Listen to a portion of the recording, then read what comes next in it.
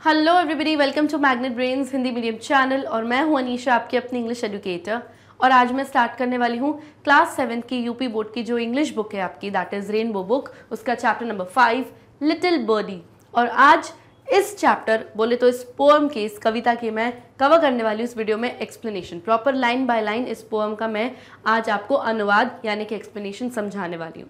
So before starting with the chapter और the poem क्योंकि एक कविता है, ये एक पोएम है, हम एक इंट्रोडक्शन समझते हैं इस चैप्टर के बारे में, इस पोएम के बारे में।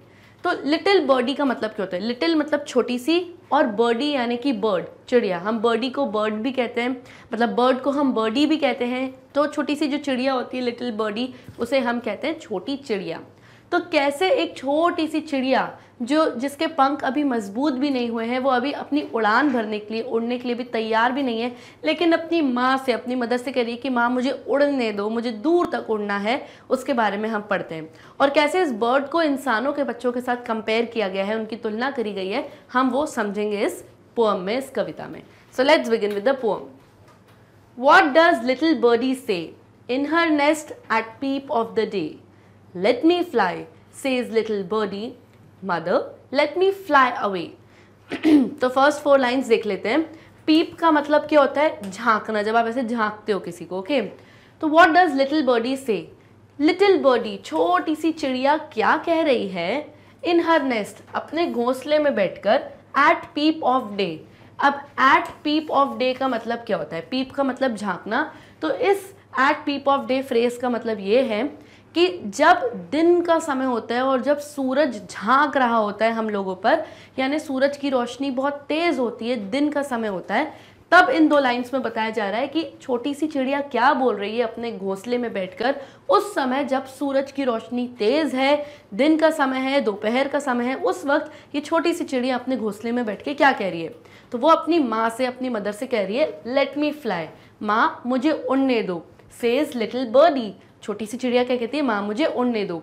Mother let me fly away माँ, मुझे उड़ने दो अवे यानी दूर तक मुझे उड़ने दो।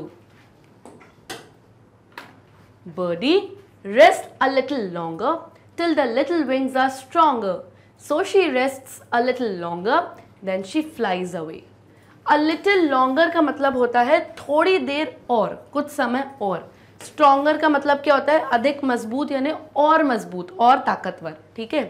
तो जब लिटिल बर्डी छोटी सी चिड़िया अपनी माँ से कहती कि, माँ, मुझे उड़ने दो, मुझे दूर तक उड़ने दो दिन के समय में तो माँ अब कहती है अपनी बर्डी अपनी बच्ची को कि बर्डी यानी चिड़िया रेस्ट अ लिटिल लॉन्गर यानी थोड़ी देर और इंतज़ार करो रेस्ट करो, तुम अपने इसी घोंसले में अभी आराम करो till the little wings are stronger तब तक, जब तक तुम्हारे ये जो छोटे छोटे विंग्स जो तुम्हारे छोटे छोटे पंख हैं, ये जो तुम्हारे पर हैं, ये और मज़बूत ना बन जाए, क्योंकि अभी तो तुम छोटी हो, तुम्हारे पर अभी उड़ान भरने के लिए मज़बूत नहीं है।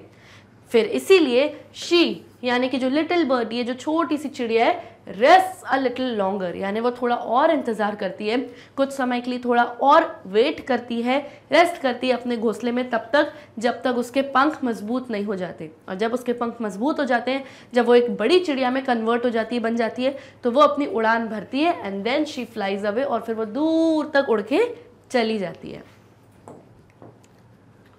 वॉट डज लिटिल बेबी से अब अब तक ये छोटी सी चिड़िया और चिड़िया की जो माँ होती है, मादा चिड़िया, उसके बारे में यहाँ पर हमने पढ़ा। अब एक बेबी यानी जो इंसान की छोटी सी बच्ची होती है, उसके बारे में पढ़ रहे हैं और उसको कंपेयर कर रहे हैं इस लिटिल बर्डी के साथ और कहते हैं व्हाट डज लिटिल बेबी से छोटी सी बेबी जो इंसान की छोटी सी बच्ची है, इंसान की, वो क्या कहती है? In her bed at peep of the day अब छोटी सी लिटिल बॉडी है, वो तो अपने घोंसले में बैठी है, लेकिन ये जो छोटी सी बच्ची वो कहाँ सो रही है?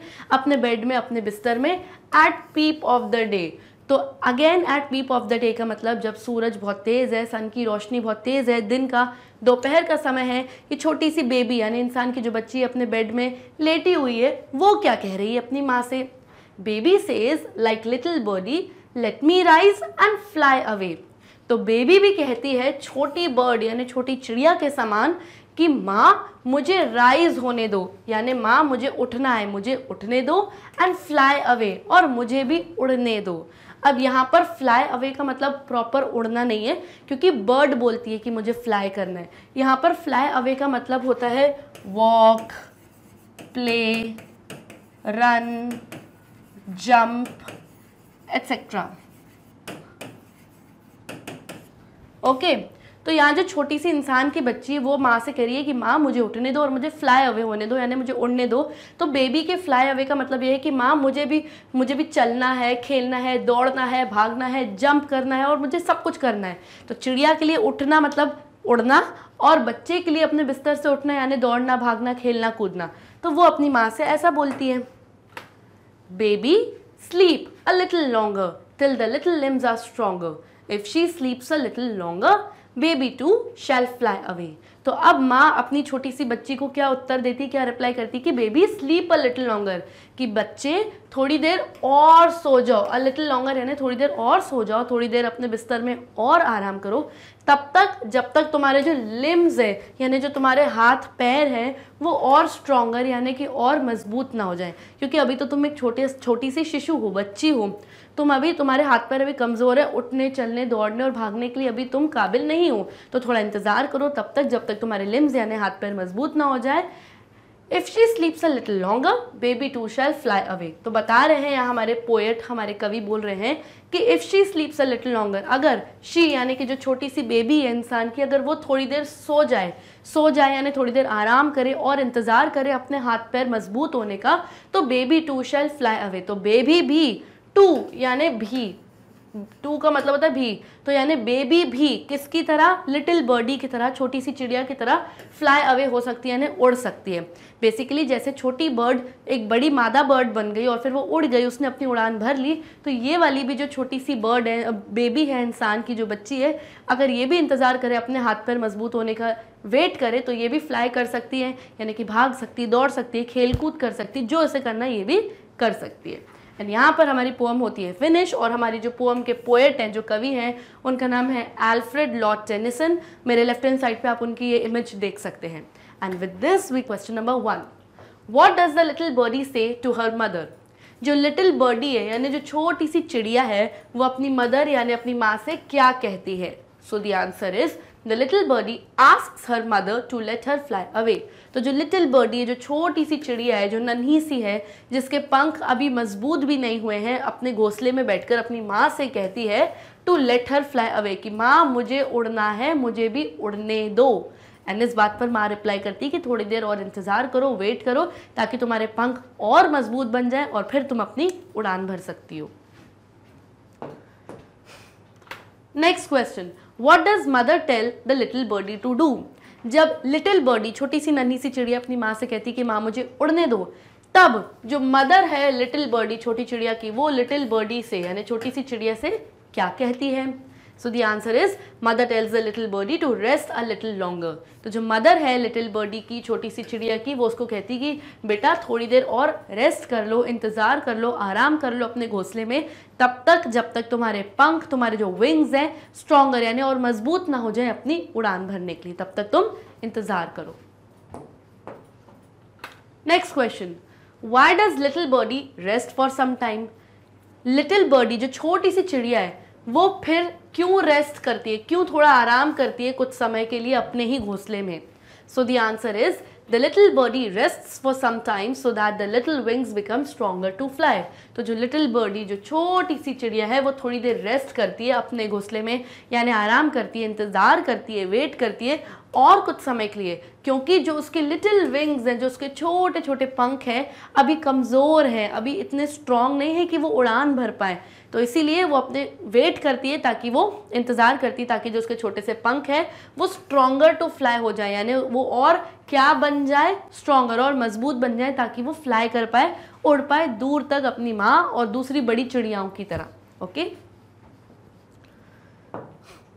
next question what does mother ask the little baby to do अब इस क्वेश्चन में थोड़ा सा करेक्शन है। आपके क्वेश्चन एंड आंसर्स में जो क्वेश्चन नंबर बी है वो एग्जैक्टली exactly सेम है क्वेश्चन नंबर डी की तरह। तो ये छोटा सा प्रिंटिंग एरर हुआ है आपकी बुक में। तो व्हाट डज द लिटिल यहाँ पे बुक में था what does the little birdie what does the mother ask the little birdie to do तो इस बर्डी को आप काट दीजिए और आप लिखिएगा बेबी क्योंकि ये क्वेश्चन रिपीट हुआ है नंबर बी से। ये आपकी बुक में मिसप्रिंट हुआ है ओके okay? तो यहाँ पर क्वेश्चन ये होना चाहिए what does mother ask a little baby to do ना कि बर्डी टू डू बर्डी को आप काट के बेबी कर दीजिए ओके तो जो मदर है, अब यहाँ पे बात हो रही है बेबी की, जो छोटा सा, जो छोटी सी बेबी है, इंसान की जो बच्ची है छोटी सी, उसकी मदर उसे क्या करने को कहती है? The mother ask the little baby to sleep a little longer in her bed जिस तरीके से छोटी सी बर्डी अपनी माँ से कहती कि, माँ, मुझे उड़ना है और दूर तक उड़ना है, उसी तरीके से यहाँ पर कंपैरिजन यानी तुलना की गई है एक छोटी सी बेबी यानी इंसान की बच्ची से। और बताया गया है कि जो लिटिल बेबी है, वो भी अपनी माँ से कहती कि, माँ, मुझे उठना है, दौड़ना है, भागना है और मुझे खेलना, कूदना है। तो माँ उस छोटी सी बेबी से क्या कहती है? ये क्वेश्चन आपसे पूछा गया है। तो माँ कहती है छोटी सी लिटिल बेबी से to sleep a little longer in bed की अपने बेड में, अपने बिस्तर में तुम थोड़ी देर और सो जाओ, यानी थोड़ी देर और इंतज़ार करो वेट करो रेस्ट करो, ताकि तुम्हारे जो हाथ पैर हैं, जो तुम्हारे लिम्स हैं, और स्ट्रॉन्गर बन जाए, जिससे तुम खेल सकती हो, दौड़ भाग सकती हो okay next question what will happen if the little baby sleeps a little longer क्या होगा अगर जो छोटी सी लिटिल बेबी है, जो इंसान की छोटी सी बच्ची है, वो थोड़ी देर और लिटिल लॉन्गर और स्लीप करेगी रेस्ट करेगी और वेट करेगी अपने बेड में तो क्या होगा? So the answer is the limbs of the baby will get stronger if she sleeps a little longer तो जो बेबी है, जो बच्ची है छोटी सी, उसके लिम्स यानी जो उसके हाथ पैर हैं, वो और स्ट्रॉन्गर यानी कि और मज़बूत बन जाएँगे। अगर वो थोड़ी देर और स्लीप करेगी, सोएगी, यानी कि रेस्ट करेगी वेट करेगी, इंतज़ार करेगी। क्योंकि वो तो एक छोटी सी बच्ची है, उसके हाथ पैर अभी बहुत कमज़ोर है, नाजुक है। तो खेलने कूदने के लिए उसको रेस्ट करना पड़ेगा वेट करना पड़ेगा और सही समय आने पर वो भी अपने बिस्तर से उठ के खेल कूद सकती है इंजॉय कर सकती है, भाग दौड़ कर सकती है। Okay let's begin with the exercises word power के अंदर देखते हैं. Give the rhyming words for each of the following word अब यहाँ पे बहुत सारे वर्ड्स गिवन हैं. आपको उनके राइमिंग वर्ड्स लिखने हैं. यानी कि सेम सुनने वाले, यानी कि उनका स्पेलिंग अलग होगी, लेकिन जो आखिरी का साउंड होगा वो सेम होगा. वर्ड्स देख लेते हैं. फ्लाई यानी उड़ना. पीप यानी झांकना. नेस्ट यानी चिड़िया का घोंसला. लॉन्गर यानी लंबे समय के लिए. राइज यानी कि उठना या फिर उगना. ओके अब फ्लाई का देखते हैं फ्लाई का बन जाएगा क्राई ओके अब मैंने यहाँ पर क्राई लिखा है, आप और कुछ भी लिख सकते हैं। फ्लाई का आप हाई भी कर सकते हैं।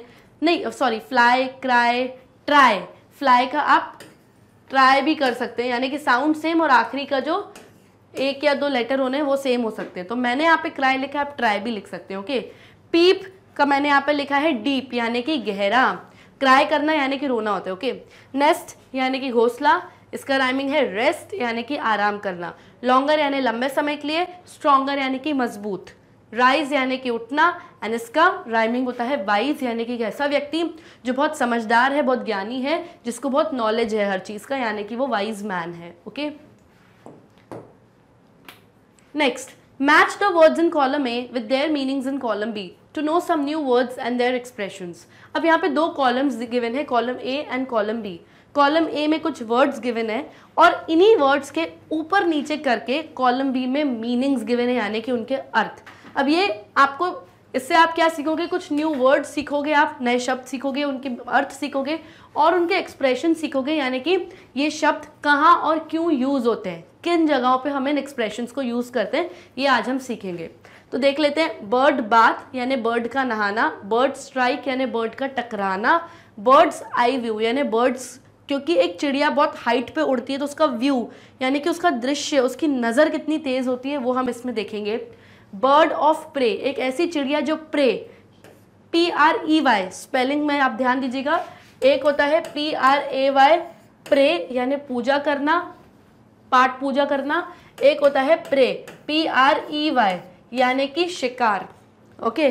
तो बर्ड ऑफ़ प्रे यानी कि वो चिड़िया जो शिकार करती है, ओके? तो ये है कुछ एक्सप्रेशंस अब उनके मीनिंग्स देख लेते हैं। वो देख लेते हैं a good view of something from a high position एक ऐसा व्यू बहुत हाई पोजिशन से, बहुत हाइट पे आप किसी चीज़ का व्यू यानी कोई दृश्य आपको बढ़िया दिख रहा है। A bird that hunts and eats other animals एक ऐसी चिड़िया जो हंट करती है, यानी शिकार करती है और दूसरे छोटे छोटे एनिमल्स को, जानवरों को खाती है। A vessel with water for birds to bathe in एक वेसल एक छोटा सा बर्तन है, जिसमें वाटर यानी पानी रखा हुआ है, और बर्ड्स उसमें क्या करती है? बेद यानी नहाती हैं। A clash between a bird and an aircraft एक क्लैश यानी टकराव हुआ है किसके बीच में? चिड़िया के बीच में, और एयरक्राफ्ट यानी कि हवाई जहाज़ एरोप्लेन के बीच में। अब मैंने आपको यहाँ पे ये एक्सप्रेशन बता दिए, और इन वर्ड्स के अलग अलग जो मीनिंग्स है, वो एक्सप्लेन कर दिए। अब गेस करते हैं किस वर्ड किस एक्सप्रेशन का क्या मीनिंग क्या अर्थ होगा? अब बर्ड बाथ बर्ड का नहाना हमें समझ में आ रहा है। A vessel with water for birds to bathe in एक ऐसा बर्तन जिसमें पानी और चिड़िया उसमें नहाती है। तो वन का बन जाएगा सी ओके बर्ड स्ट्राइक यानी बर्ड का टकराना। तो बर्ड यहाँ किससे टकरा रही है? A clash between a bird and an aircraft एक क्लैश एक टकराव हुआ है किसके बीच में? चिड़िया और हवाई जहाज़ के बीच में। तो टू का होगा number B number D sorry D for dog okay bird's eye view कि बर्ड की आँखों का व्यू कैसा है? तो इसका आंसर ये होगा कि एक बढ़िया व्यू एक बढ़िया दृश्य किसी भी चीज़ का बहुत हाई पोजीशन से, क्योंकि एक चिड़िया बहुत हाई हाइट पर उड़ती है। वो इतनी ऊपर से नीचे देख लेती है कौन है, क्या है, मेरा शिकार कहाँ है तो वो सब उसकी आँखें बहुत तेज़ होती है, जैसे ईगल ईगल एक चिड़िया उसकी आँखें बहुत तेज़ होती है। अपन बोलते हैं ना, चील की नज़रें उसकी, यानी बहुत तेज़ हैं। तो बर्ड्स आई व्यू का आंसर होगा नंबर ए ओके क्योंकि बर्ड की आँखें बहुत तेज़ होती है। बर्ड ऑफ़ प्रे यानी एक ऐसी चिड़िया जो शिकार करती है तो उसका आंसर होगा नंबर बी एक ऐसी चिड़िया जो शिकार करती है और दूसरे छोटे छोटे दूसरे जानवरों को खाती है। तो फोर का आंसर होगा बी आंसर चेक करते हैं।